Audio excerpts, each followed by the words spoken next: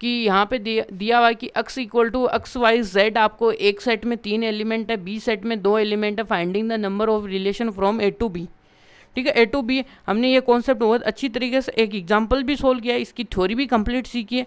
अब इसके ऊपर जो सेकेंड क्वेश्चन है, वो कर रहे हैं, ठीक है? तो देखिएगा कि क्या है भाई सोल्यूशन में देखिएगा। भाई, एक तो आपको ए सेट गिवन है एक्स वाई जेड और आपको एक बी सेट दिया हुआ है। वो आपको वन टू गिवन है। यहाँ तक क्लियर है? अब आपको बताना भाई नंबर ऑफ़ एलिमेंट्स कितने होंगे? तो पहले हम इसका देखिए कार्टिशन प्रोडक्ट देखते हैं भाई। कार्टिशन तो यहाँ से देखो अक्स कितने को तीर मारेगा? अक्स यहाँ पे वन को, फिर यहाँ पे टू को, ठीक है? वन को, फिर अक्स किसको मारेगा भाई? टू को भी तीर मारेगा।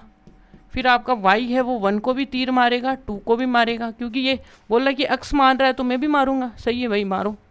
और यहाँ पे जेड है जेड वन को भी मारेगा जेड टू को भी मारेगा। तो यहाँ से number of element in Cartesian product कितने हुए? A cross B equal to कितने हो गए भाई? सिक्स ठीक है ना? सिक्स एलिमेंट हो गए।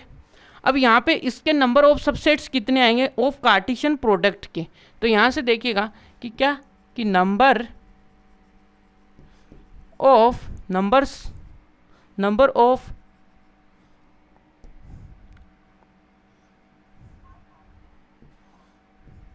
number of numbers of subsets दोनों number of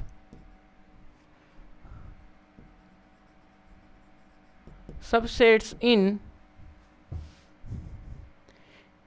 in A cross B तो ए क्रॉस बी में कितना आएगा? टू टू की पावर यहाँ पे, जो जितने, इतने, इसकी कार्डिनल्टी होती है ना ए क्रॉस बी की तो टू टू की पावर यहाँ पे कार्डिनल्टी सिक्स है। तो ये देख लो जी, कितना आएगा? सिक्सटी फोर है ना? तो सिक्सटी फोर आ गया। और यहाँ से सिक्सटी फोर आते ही सो तो यहाँ से क्या आएगा? Number of relation from A to B कितने होंगे? वही सिक्सटी फोर सेम आएँगे, ठीक है? क्यों आएँगे? क्योंकि जो रिलेशन होता है वो सबसेट्स ऑफ़ क्या होता है? कार्टिशन प्रोडक्ट होता है, इसलिए।